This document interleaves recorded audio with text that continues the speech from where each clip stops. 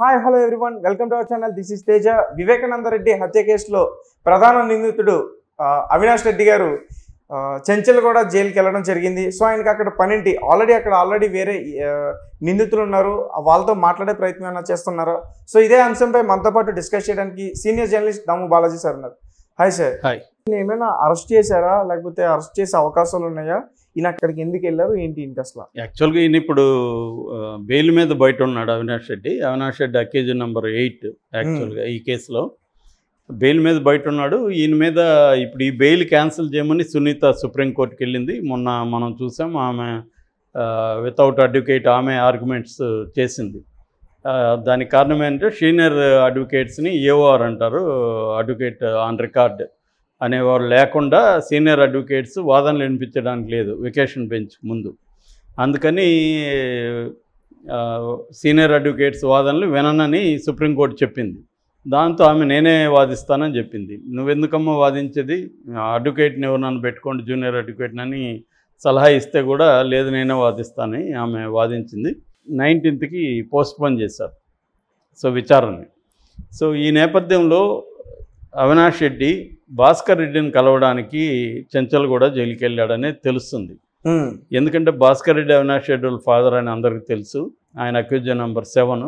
ఆయనతో పాటు గుజ్జుల ఉదయ్ కుమార్ రెడ్డి తర్వాత ఎర్రగంగి రెడ్డి ఇద్దరు కూడా ఉన్నారు చెంచల్గూడలో యాక్చువల్గా భాస్కర్ రెడ్డికి చాలా హెల్త్ సివియర్ ప్రాబ్లం ఉంది. ఆయనకి వెన్నుముక సర్జరీ అయింది. అది ఫెయిల్ అయింది ఆ సర్జరీ.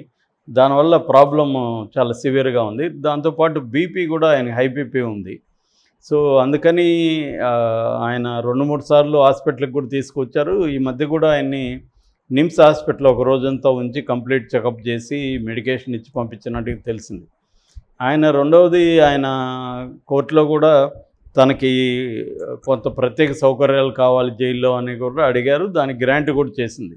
ముఖ్యంగా తనకు ఒక సపరేట్ సెల్ కావాలని తర్వాత బెడ్ కావాలని న్యూస్ పేపర్స్ కూడా తనకి ఇవ్వాలని ఇట్లాంటి కొన్ని రిక్వెస్ట్లు పెట్టారు కోర్టుని. అది కూడా గ్రాంట్ చేసింది. ఎందుకంటే ఆయనకి around seventy five years TV అన్నీ ఉంటాయా సార్? మామూలుగా టీవీ అవి ఉంటాయి. అయితే. టీవీలో ఏంటంటే ఫిక్స్డ్ వాళ్ళ కొన్ని ఛానల్స్ వస్తుంటాయి. వాటినే చూడాల్సి ఉంటుంది. టీవీ పెట్టుకొని కూడా గొడవలు? జరిగే సందర్భాలు కూడా ఉంటాయి జైల్లో. Food sir? ఫుడ్ మామూలుగా అక్కడ వండిందే ఇస్తారు. ఇంకా బయట ఫుడ్ ఆయనకి అలో చేయలేదు. బయట ఫుడ్కి కూడా కోర్టు నుంచి పర్మిషన్ తీసుకోవాలి. అక్కడే ఫుడ్ ఇస్తారు. కాకపోతే ఏంటంటే ఇట్లా హెల్త్ ప్రాబ్లమ్స్ ఉన్న వాళ్ళకి సపరేట్ ఫుడ్ ఇస్తారు. అంటే బ్రెడ్ కావచ్చు లేకపోతే కొద్దిగా హైజీనిక్ ఫుడ్ ఉన్నంతలో ఇస్తారు. మిల్క్ కావచ్చు అలాంటి మామూలుగా మాంసం తర్వాత అది చికెన్ మటన్ కూడా ఖైదీలకు ఇవ్వాలనేది రూల్ అనమాట మామూలుగా ఫస్ట్ వీక్ మటన్ ఇస్తే మిగతా మూడు వారాలు చికెన్ ఇస్తూ ఉంటారు. అదంతా కూడా క్వాంటిటీ ఉంటుంది అనమాట జైలు మాన్యువల్లో ప్రతిదీ క్వాంటిటీ ఉంటుంది. ఎంత క్వాంటిటీ ఈచ్ ఖైదీకి ఇవ్వాలని. ఫర్ ఎగ్జాంపుల్ మటన్ వండిన మాంసం రెండు వందల గ్రాములు ఈచ్ ప్రిజనర్కి ఇవ్వాలన్నమాట. ఇక్కడ కూడా ఏంటంటే శిక్ష పడిన వాళ్ళకి రిమాండ్ ప్రిజనర్స్కి తేడాలు ఉంటాయి. శిక్ష పడిన వాళ్ళకైతే పనులు చేయించడం వాళ్ళ దగ్గర. అక్కడ కూడా జైళ్ళల్లో కూడా ఈ మధ్య ప్రొడక్షన్ యూనిట్స్ నీకు చర్లపల్లి జైల్లో అయితే అగ్రికల్చర్ కూడా ఉంది అక్కడ. తోటలు ఉన్నాయి అవన్నీ ఉన్నాయి. ఓపెన్ జైలు అంటారు దాన్ని. ఓపెన్ జైల్లో కూరగాయలు పండించడం అవన్నీ కూడా. దాంట్లో అంతా కూడా కంపల్సరీ పని చేయాలి. శిక్ష పడిన వాళ్ళు. వాళ్ళకి తగిన వాళ్ళకి వచ్చిన పనులు చేయాలి అక్కడ. సబ్బులు తయారీ ఇట్లాంటివి రకరకాల ఉత్పత్తులు ఉన్నాయన్నమాట. తెలంగాణలో ఏంటంటే పర్ ఇయర్కి దాదాపు ముప్పై కోట్ల రెవెన్యూ వస్తూ ఉంది. ఓకే. యాక్చువల్గా ఈ రకరకాల ఖైదీల. వల్లనే. అంటే. పెట్రోల్ బంక్ ఉంది ఫర్ ఎగ్జాంపుల్ చర్లపల్లి. ఆ పెట్రోల్ బంక్లో ఈ ఖైదీలే పనిచేస్తారు అక్కడ. వీళ్ళ అంటే సీనియర్ ఖైదీలు ఉంటారు. వాళ్ళు బయటికి వెళ్ళడానికి వెళ్ళరు కాబట్టి అలాంటి వాళ్ళని చూసి పెట్రోల్ బంక్లో పనిచేస్తారు. అట్లాగే షాపులు కూడా ఉంటాయి ఇక్కడ వీళ్ళది. జైల్లో ఉన్న ప్రోడక్ట్స్ని అమ్మే అవుట్లెట్స్ కూడా ఉంటాయి అన్నమాట యాక్చువల్గా సెకండ్ హైయెస్ట్ రెవెన్యూ ఉన్న పెట్రోల్ బంక్ అంట అది హైదరాబాద్లోనే. ఓకే. సో అంత బాగా నడుపుతున్నారు. సో ముప్పై కోట్లు పర్ ఇయర్ రెవెన్యూ రికార్డ్. ఆ పెట్రోల్ బంక్ ఎక్కడ ఉంది సార్? చర్లపల్లి జైలుకి ముందు. దాని ముందే అనమాట గేట్కి ముందు ఉంటుంది. సో యాక్చువల్గా వాళ్ళ టార్గెట్ వంద కోట్లు. ఎందుకంటే తెలంగాణ జైల్లో బడ్జెట్ పర్ ఇయర్ వంద కోట్లు అనమాట సో ఆ వంద కోట్లని జైల్లో నుంచే సంపాదించాలనేది కేసీఆర్ గారు టార్గెట్ ఇచ్చారు వాళ్ళకి. సో ఇప్పుడు దాదాపు ముప్పై కోట్ల వరకు వాళ్ళు రీచ్ అయ్యారు. ఇంకా రీచ్ అయ్యే పరిస్థితి కనబడుతుంది. సో ఆ రకంగా శిక్ష పడిన వాళ్ళకైతే పని ఉంటుంది. వీళ్ళేమో రిమాండ్ ప్రెజనర్స్. రిమాండ్ ప్రెజనర్స్ కాబట్టి వీళ్ళకి పనులు చెప్పడం అవన్నీ చేయకూడదు. రిమాండ్ ప్రెజనర్స్ అంటే అర్థమేమంటే వాళ్ళు ప్రూవ్ అయ్యే వరకు నిర్దోషులే అమాయకులే. ప్రూవ్ అయితేనే దోషులు. సో ప్రూవ్ కాలేదు కాబట్టి వీళ్ళందరూ నిర్దోషులే. అది ఎట్లాంటి కేసు అయినా కూడా ప్రూవ్ అయ్యే వరకు వాళ్ళు ఇన్నసెంట్ అనేది చట్టం చెప్తుంది. వాళ్ళని రిమాండ్ ప్రిజనర్స్ అంటారు వాళ్ళకి బ్యారక్స్ కూడా సపరేట్గా ఉంటాయి. సో అలాగా వీళ్ళకి ఈయన తండ్రిని చూడడానికి అవినాష్ రెడ్డి వెళ్ళాడు యాక్చువల్గా. తండ్రిని చూడడానికే కాకుండా ఆయన లోపల కొంత ఇబ్బంది పడుతున్నట్టుగా ఉంది. మొన్న ఎర్రగంగిరెడ్డితో గొడవ అయింది ఒకరోసారి జైలర్తో గొడవ అయింది ఇట్లాంటివి ఉన్నాయి.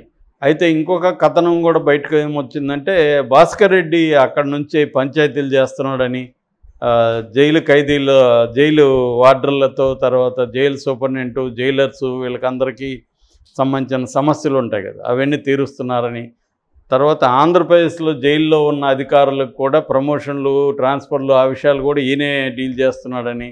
ఇట్లాంటి కథనాలు కూడా ముఖ్యంగా తెలుగుదేశానికి సంబంధించిన మీడియా బయటికి తీసుకొచ్చింది. ఓకే. అయితే వాటిలో ఎంత నిజం అనేది మనకు తెలియదు మామూలుగా అయితే అట్లాంటివి జరుగుతుంటాయి జైల్లో. కొంత పవర్ఫుల్ వ్యక్తులు ఉన్నప్పుడు జైల్లో కూడా పంచాయతీలు చేస్తారు. నయముని చూసాం మనం. నయము గ్యాంగ్ జైల్లో నుంచే పంచాయతీలు చేసేవాడు అది జరుగుతుంటాయి. సో అలా కూడా జరగచ్చు. ఏదేమైనా ఈయన పోయింది ఏంటంటే మేజర్గా ఒకటేమో ఆయన పరామర్శించడానికి హెల్త్ ఎలా ఉంది ఏంటి అనేది. రెండవది ఆయన కొంత ధైర్యం చెప్పడానికి. నువ్వు కొంచెం అంటే ఏ దాదాపు రెండు నెలలు అయిపోయింది ఆయన జైలుకి వెళ్ళి సో ఏదేమైనా జైలు అంటే కొద్దిగా ఇబ్బందిగానే ఉంటుంది. ముఖ్యంగా డెబ్బై ఐదేళ్ళు ఆయన బయట కంఫర్ట్స్కి అలవాటు అయింటారు. సో ఒకప్పుడు అంటే బయట పెద్ద కంఫర్ట్స్ ఉండేవి కాదు కాబట్టి జైల్లో కూడా పెద్ద తేడా తెలియకపోవచ్చు. ఇవాళ బయట కంఫర్ట్స్ లెవెల్స్ బాగున్నాయి. జైల్లో ఏమో అంత కంఫర్ట్స్ ఉండే ఛాన్స్ లేదు. అందుకని ఆయనకి ధైర్యం చెప్పడానికి రెండోది వాళ్ళ మదర్ ఆరోగ్యం దానికి అప్డేట్ ఇవ్వడానికి వీటన్నిటి గురించి పోయినట్టుగా తెలుస్తుంది. ఏదేమైనా కొంత స్ట్రాటజీస్ వాళ్ళు ప్లాన్ చేసుకోవాలి కదా. ఉమ్, ఎందుకంటే ఆయనకు కూడా బెయిల్ రాలేదు. మొన్న బెయిల్కి ఆయన సిబిఐ కోర్టులో అప్లై చేశారు. చేసినప్పుడు క్యాన్సిల్ అయింది. అక్కడ కూడా ఇంప్లీడ్ అయింది సునీత. నార్మల్గా రిమాండ్లో ఎన్ని రోజులు ఉంచుతారు సార్ అది ఏం లేదు రిమాండ్లో పదేళ్ళు ఉన్న సందర్భాలు కూడా ఉన్నాయి. అట్లా రూల్ ఏం లేదు. అంటే మీరు చెప్తున్నారు కదా అవును remand లో రిమాండ్లో పది పదకొండు నాకు తెలిసి లెక్కనే. పదకొండేళ్ళు ఉన్న సందర్భాలు ఉన్నాయి రిమాండ్లోనే. ఓకే. నేను చిత్తూరు జైల్లో ఉన్నప్పుడు నాతో పాటు పంతొమ్మిది మంది ఖైదీలు రిమాండ్లో నాలుగేళ్ళుగా ఉన్నారు. ఓకే. వాళ్ళకి కారణం ఏంటంటే కోర్టులు చాలా కేసుల్లో పట్టించుకోవు. అంటే వాయిదాలు వేస్తూ ఉంటారు. ఇంకొకటి ఏంటంటే వాయిదాలకు తీసుకుపోయేదానికి వాళ్ళకి సెక్యూరిటీ వెళ్ళాలి కదా. వాళ్ళు రారు అనమాట పోలీసులు రారు. అంత మామూలు కేసుల్లో.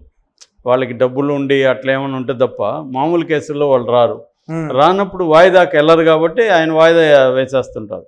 ఇప్పుడు కొంత పెద్ద జైల్లో జైలు నుంచే కూడా కోర్టుకి లైవ్లో పెట్టారు. వీడియో ట్రయల్ వీడియో ట్రయల్ కాదు వీడియో కోర్టు సెషన్స్ కూడా జరుగుతున్నాయి పెద్ద జైల్స్లో.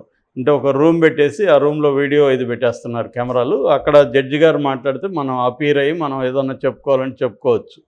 అట్లాంటిది కూడా ఇప్పుడు జైళ్ళల్లో వస్తుంది. ఏదేమైనా రకరకాల కారణాలతో రిమాండ్లోనే ఏళ్ళ తరబడి ఉండే ఇది జరుగుతుంది బేసిక్గా. సో అలాగే ఈయన మామూలుగా అయితే బెయిల్ రావాల్సిన కేసే ఇది. ఆయన మీద సెక్షన్లు మూడు ఉన్నాయి ప్రధానంగా. ఒకటి త్రీ జీరో టూ హత్యలో పాల్గొన్నాడని. పాల్గొన్నా అంటే హత్య చేశాడని కాదు కుట్రలో పాల్గొన్నాడని. One thirty one thirty IPC అంటే నిందితులకు ఆశ్రయం ఇచ్చాడని. అట్లాగే two zero one two zero one అంటే సాక్ష్యాధారాలని సో ఈ మూడు సెక్షన్ల కింద భాస్కర్ రెడ్డి మీద ఉన్నాయన్నమాట. సో ఈ విషయాలన్నీ చెప్పి నెక్స్ట్ కోర్స్ ఆఫ్ యాక్షన్ ఏంటి? హైకోర్టులో బెయిల్ పిటిషన్ వేద్దామా ఏంటి? ఇవన్నీ ఆయనతో చర్చించడానికి వెళ్ళినట్టుగా మనకి తెలుస్తుంది. Okay sir. Thank you so much. Thank